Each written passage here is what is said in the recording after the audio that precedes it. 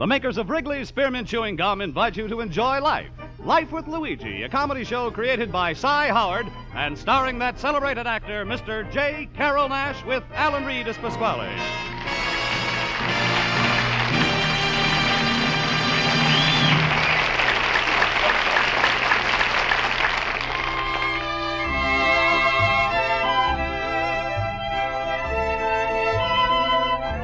You know, friends, Wrigley's Spearmint Chewing Gum is a typically American product that appeals to people of all ages and nationalities in all parts of our country.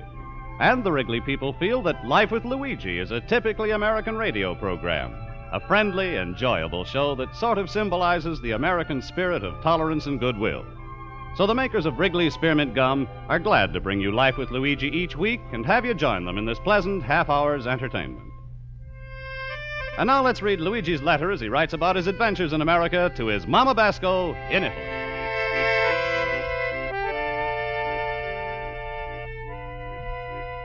Dear Mamma Mia. In your last letter, you ask I should write to you more about the American. Well, if there's a one way I'm going to surely describe him, it's to say he's always in a hurry. Even if he's got nothing to do, he's the one to do it before everybody else. And this is a make him act very strange. Yesterday, man is a run over to me in the street and he's a yell, You got the time? Before I got to my watch out of my pocket, he's a bought a paper, dropped his change, he jumped on a bus, and I hollered, thanks. thanks for what? Funny thing, it's a making me act just as a crazy. He's holler thanks, and I'm a holler you welcome. There's nowhere in the world I'm a see such a rush. In the morning is a race to the subway, then a race to work, a race to lunch, a race back to work, a race to the subway, a race home. And on a Saturday, when everybody should be nice and arrested, is a big race to the doctor. Mamma mia, you ever see a horse race? Well, in Chicago, is a people's race. Only sometimes when I'm watching the people, I'm thinking the horse knows more of what they're doing. also, you ask me if the people, they're friendly here. How many friends am I got? Well, mamma mia, Chicago is not like our little town in Italy, Castellamare, where everybody else is a call me by his first name. In Castellamare, everybody's a call me Luigi. Over here, I'm a just a plain, hey, you. I think I think the reason I'm I'm right to you so much like this, Mamma Mia, is is because today I'm feel very lonely and I'm a miss you. But maybe I'm thinking too much about it, so I'm better go off to my night school class. There, with all of the questions and the answers are flying around, I'm going to forget to my trouble.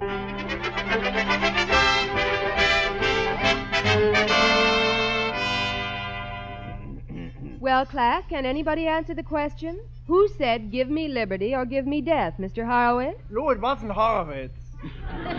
Please, Mr. Schultz. Well, Mr. Horowitz, who said give me liberty or give me death? Mm. And I studied my lesson so hard last night. I even kept my little boy S- Seymour, he should help me. Was it Thomas Jefferson? No. Alexander Hamilton? Mm-mm. Samuel Adams? Paul Revere? George? Horowitz, please leave somebody to start the revolution.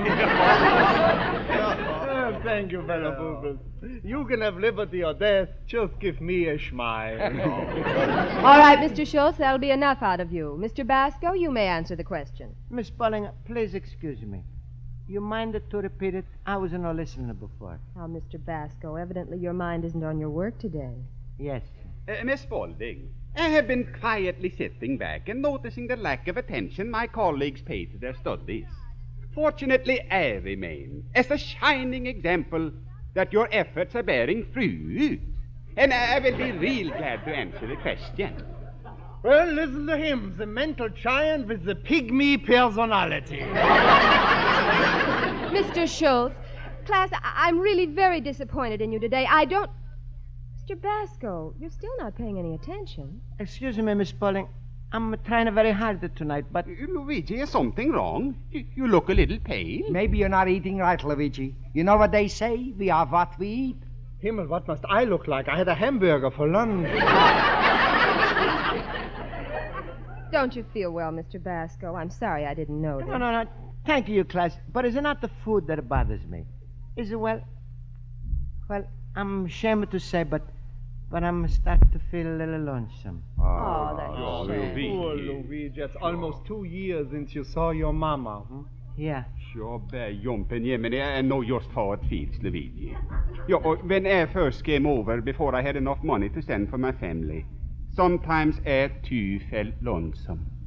You know, there must be many ways of meeting people, Mr. Basco. Why don't you join some social group or dancing club? Yeah, that's a good idea. After all, you know, the toughest thing is to be a bachelor. I remember how it feels to go home alone every night and sit and look at four walls. Jaha, that, that's different if you're married. Sure, now I got three rooms and I come home, my wife runs out to play canasta, and I sit and look at the twelve walls. Ach, smile, Luigi, you are not so bad off. now, maybe I'm not. Hmm, We're a big help. Luigi, I would gladly ask you to come home with me. But it so happens that tonight I got to run right to my meeting. You know, the Odessa Young Men's Benevolent Society. I'm the president, and you No, no, no, thank you. Thank you, Horowitz, but I'm a no baby. I'm. Luigi, you know I go to work after class. I- If you want to help me deliver the milk. Well, it's very nice of you, Olson. No, I think I go home to sleep. Ach, Luigi, you know I would say come and sleep with me and my happy little family, but it so happens my apartment is being painted. Oh. You see, there's ten in the family, and we got it exactly ten paintbrushes. Himmel, there must be something you can do. Mr. Basco, what about Rosa? Miss Spaulding, he may be alone, but he don't want to be with a crowd. And not tonight, I'm even willing to go out with the Rosa. Well, that can easily be arranged, Luigi. Jaha, just drop a gentle hint to Pasquale. Yeah, like just letting him see you. Yeah, that's it, Luigi Rosa. Your troubles are over. Smile. Sure, we all get it a little moody sometimes, but like we say in the delicatessen business, don't worry. The things that look darkest today, tomorrow we cover up with a little mayonnaise.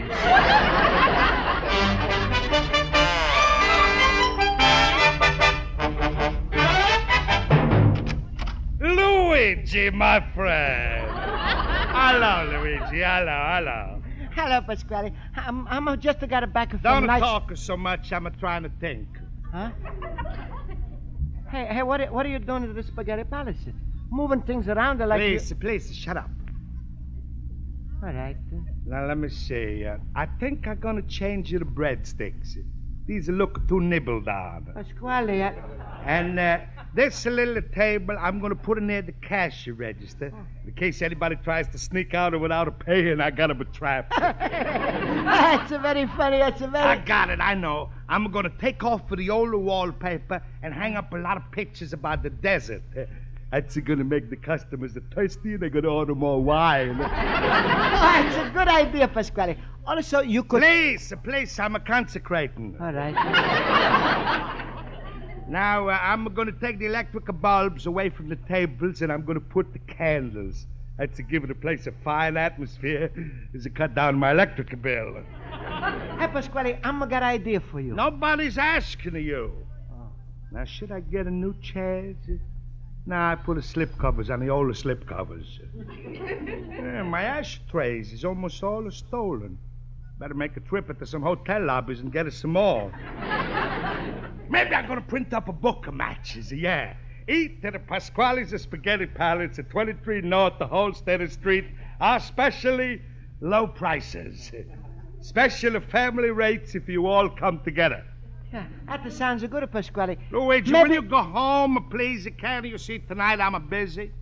Well, Pasquale, maybe, maybe I can stay here and help you a little bit tonight. Huh? Look, here, I'm going to move this table over for you. Luigi, if you don't go home now, I'm gonna count till ten and kill you by seven. Pasquale, I'm sorry. I go now. Was it just that I was, I was a feeling lonesome and, and I was just to feel like I am want to talk. Talk. There's only one subject I'm interested to talk about. I'm willing to talk about that subject. It ain't politics money or moon pictures. Rosa? Hoo-hoo, how you hit that jackpot. All right, Pasquale, come on, let's talk. you sure you want to talk about a Rosa? Sure, I'm sure. Luigi, let me feel your hair. You must be sick. No, no, no, I'm not. Ah, you're just a teasing me. I suppose you're going to tell me how fat she is. No, no, no, no, I'm a been thinking. Fat to skinny is all the same. Is it the personality? That's what accounts what a good. Oh. You look like a Luigi, you act like a Luigi, you sound like a Luigi. When you, when you put them all together tonight, it's a come out Xavier Cugat. Xavier, well, what's the difference, Pasquale? I'm, I'm feeling very lonesome, and I, I'm a think maybe tonight I could take a Rosa for a walk in a park or something. Huh? Oh, that's wonderful, Luigi. Look, Ross is in the kitchen. Why don't you go in yourself and ask her? All right, uh, I'm gonna do that now.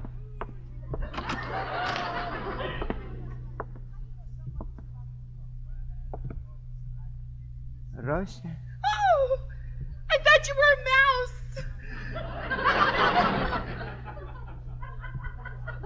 I scare you? No, I like mice. Is uh, is a nice uh, night tonight, uh, Rosa? I don't know. Should I go outside and look? No, no, no, stay. Uh, Rosa, how you would like we should go for a walk in the park? Huh? Just me and you.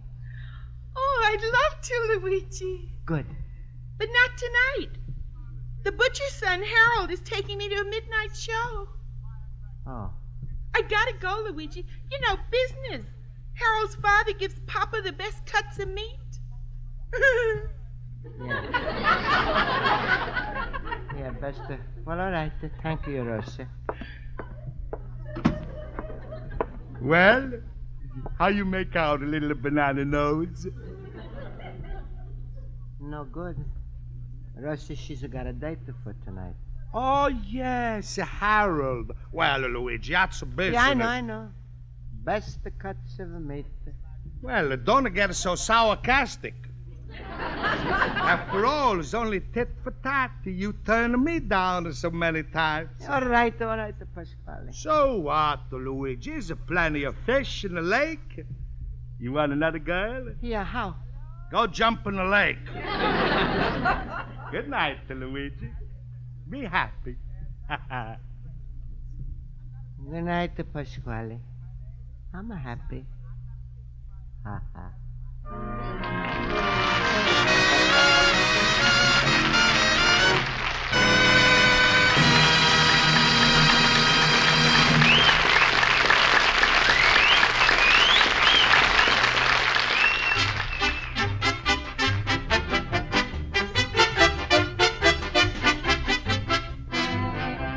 Before we return to Life with Luigi, we'd like to mention that refreshing Wrigley's Spearmint Gum is an ideal treat for your whole family to enjoy. You can give it to youngsters between meals without worrying about spoiling their appetite. And you can enjoy it often every day yourself because it's never rich or heavy. Remember, too, chewing Wrigley's Spearmint is good for your teeth and aids digestion. So, for a long lasting taste treat and a healthful chewing treat all combined into one, get a few packages of Wrigley's Spearmint Chewing Gum next time you go shopping. Wrigley's Spearmint. Healthful, refreshing, delicious. Now let's turn to page two of Luigi Basco's letter to his mother in Italy.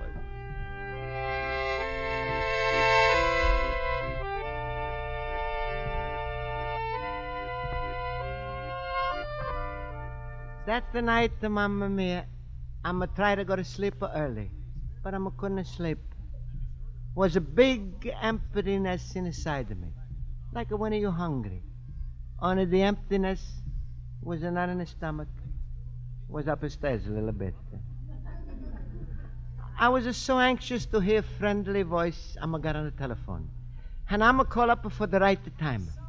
Beautiful voices say, "Is it now twelve thirty? Is it now twelve thirty in ten seconds? Is it now twelve thirty in twenty seconds?" Then I'ma start to talk to her. But if she's a keep her right on her talking and listening to me. This is making me very lonesome, so I'm gonna get out of bed. I'm gonna get out of bed, dress myself, and I'm gonna start to walk in the fresh air.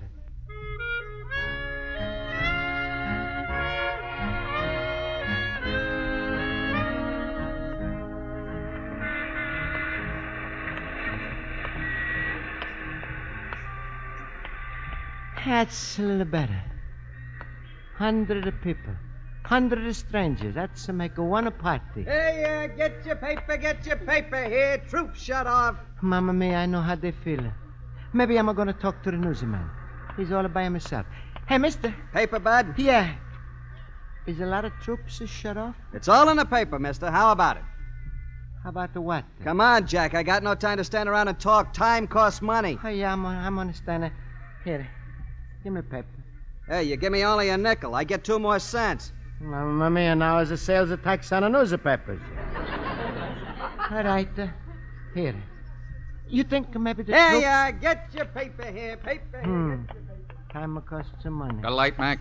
No, but Yeah, if you fine. go with me, I'll take you to my antique shop. I'm gonna get lots of matches. I'm a. Huh? He's a keeper right on the move, innit? Maybe I'm gonna try somebody else. Hey, hey, Bud, Huh? You got a light? uh, Sure. Well, Well, what? what do you want to do with it? Start a fire? Oh, no, I'm gonna want to start a fire. Well, where's your cigarette? Oh, I'm gonna smoke. Well, what do you want a light for? Well, I'm, uh, I'm just the one to talk. Oh, I get it. And you want a light so you can't see who you're talking to. yeah. Get out of here. Huh? Mamma mia, this is a guy, he's no like me.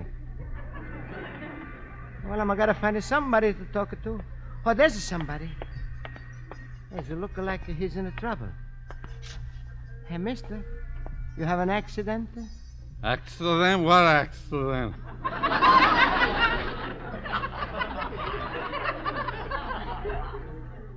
Why you laying under the lamp post? It's a free country. I can lay anywhere I want.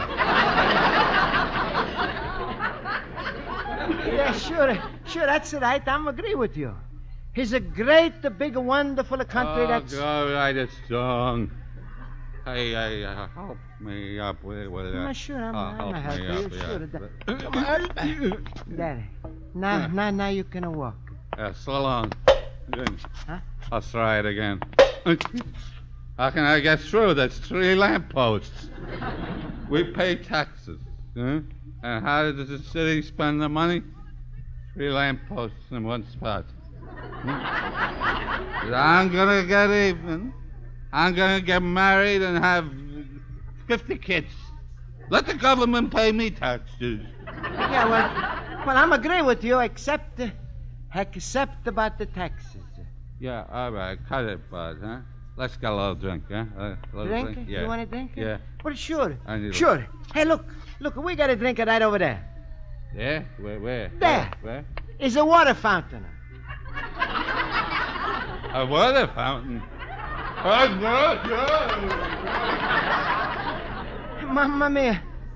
I didn't think he could run so fast. It's just so quiet in the nighttime. Even the streets, they look sad. Hey, why don't you watch where you're going? I'm sorry.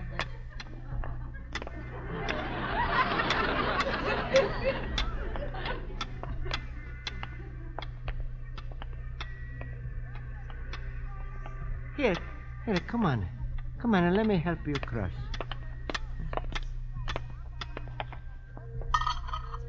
Thank you, friend. May you never know what it is to be lonely.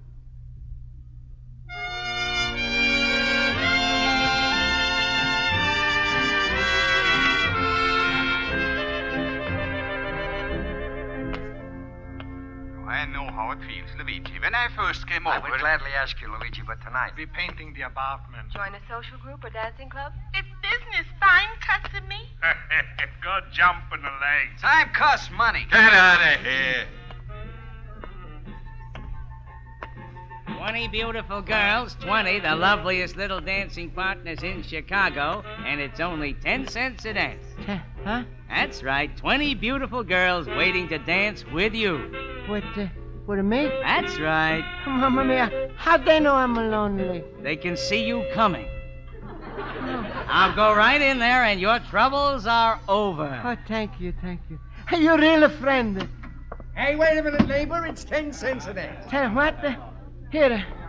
No, but but I'm I'm only got the one dollar bill. Okay, here's ten tickets. Just hand the girl a ticket for the dance. Right in there, son.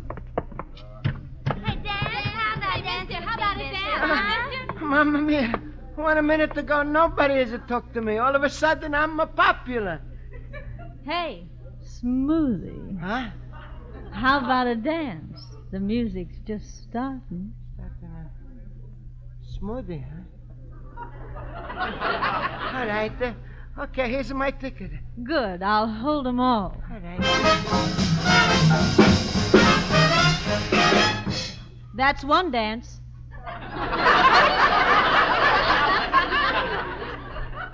That's the dance? Uh huh. Must be some music I'm not hear. Here we go again. All Come right. on, hold me.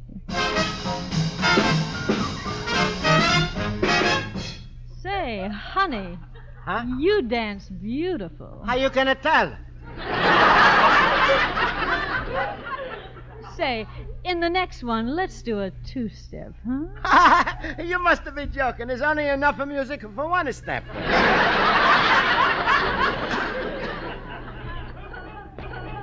Please, if you don't mind, I'm gonna take a back of my tickets. What's the matter? Don't you want to dance no more? No. Two dances is enough for three is making me dizzy. Well, uh, maybe we can sit down and talk. Talking? You said a talking? Sure, I'm I'm like it to talk. Fine. Then I'll hold the tickets.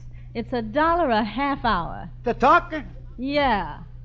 How much does it cost if we just to sit together and keep it quiet? Hey, what are you, a wise guy? Dance, dance, mister? Mamma mia. I'm a wonder if she's a carry a meter, a dollar and a half an hour. Is it like I'm a just been introduced to a taxi? Hello. Hello, and here's the ticket. Oh, you don't have to give me a ticket. I don't. Huh? You never been here before, have you? You're gonna tell her by the way I'm a dance, huh? no, come on, let's sit down. Oh, thank you. Here. No, no, I don't want your tickets. We close soon, and you can get your money back then. Oh, thanks. You know something? I don't care if you do take them.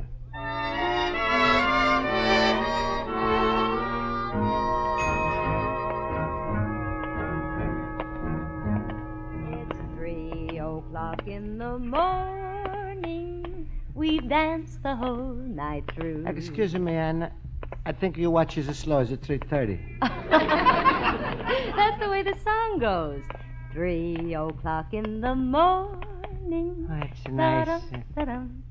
It's three o'clock in the morning. We've All the danced the we whole night around through. That's good. Keep it up. Three O'clock in the morning.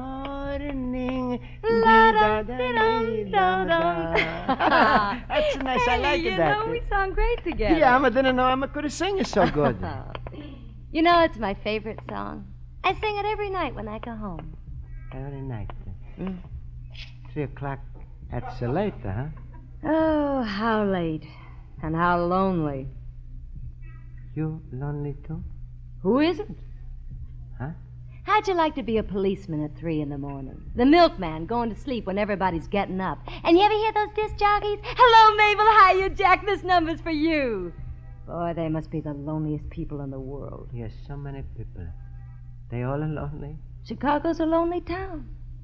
It's three o'clock in the Three morning. o'clock in the morning. We've the danced one the whole lights. night.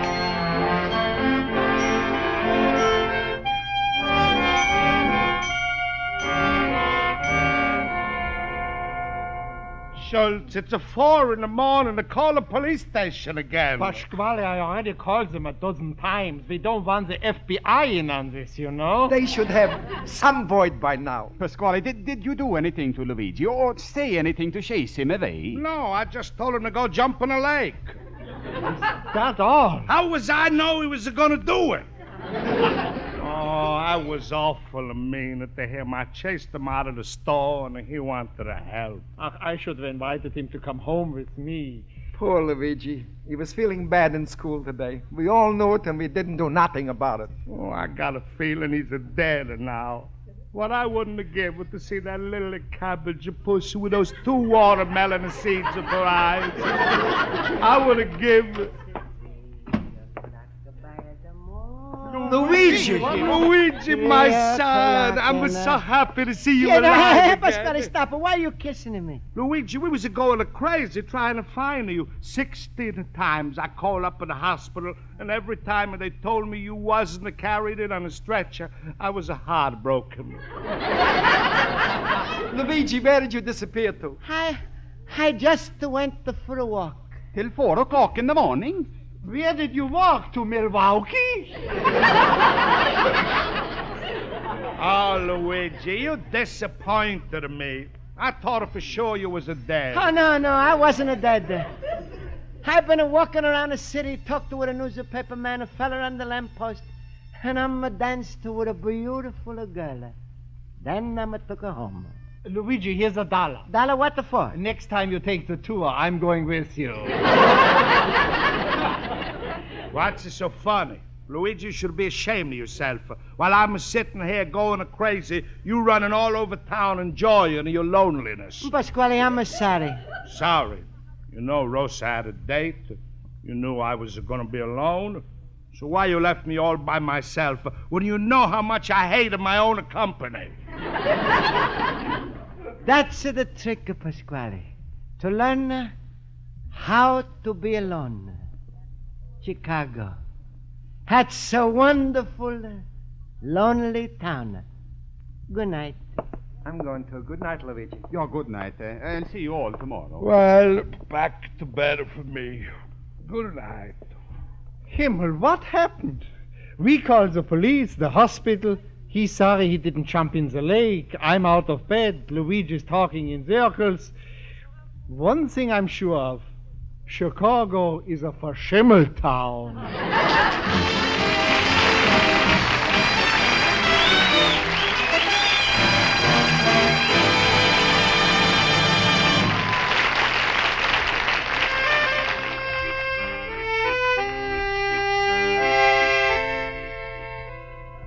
And so, Mamma Mia, my letter to you is finished.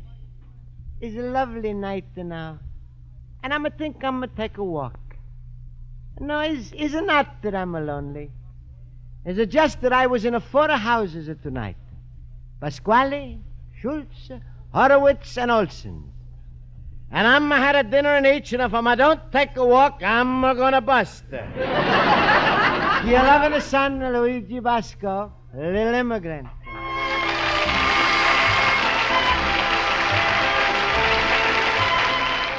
Folks, the makers of Wrigley's Spearmint Chewing Gum hope you've enjoyed tonight's episode of Life with Luigi, and they'd like to remind you that Wrigley's Spearmint is just about the perfect taste treat to enjoy between your meals.